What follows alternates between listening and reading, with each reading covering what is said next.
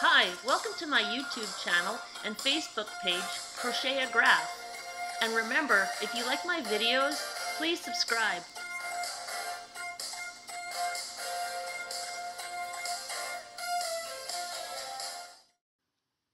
Hey everyone, today I'm going to show you how I took this photo of Star Wars and turned it into this photo of Star Wars and then into this photo of Star Wars as a finished written pattern and crochet graph.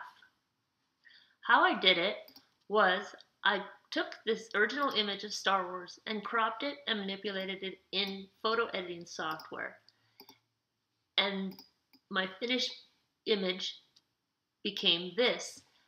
After bringing it into preview, you go up to tools, adjust size, choose how large your image is going to be my finished piece is 160 pixels by 160 pixels, 4 pixels per inch. These are the settings. You hit OK.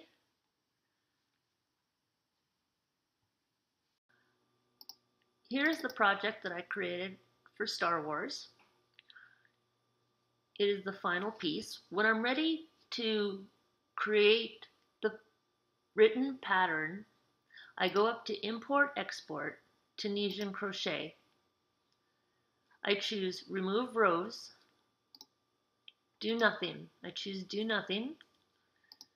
We work right to left because you're if you're right if you're right-handed you work right to left if you're left-handed you work left to right so it'll be right to left it's not alternating it's just right to left it'll be the thread name and that is why I renamed all of the thread in the palette to the yarn names so that they are shorter in my written pattern.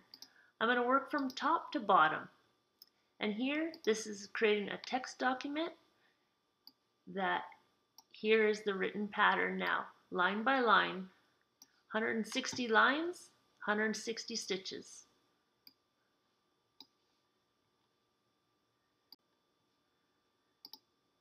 In addition to exporting the written pattern, you can export it as a stitched view.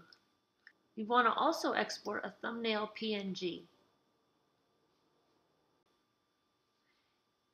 In your folder, you should have your project, your image, your high resolution image, your written PDF pattern, your original image, a stitches view that is generated from MacStitch, as well as your thread palette, and that is it.